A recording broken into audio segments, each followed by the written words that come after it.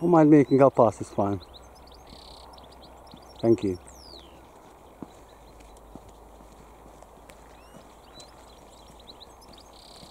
Can you hear that bird? Yeah.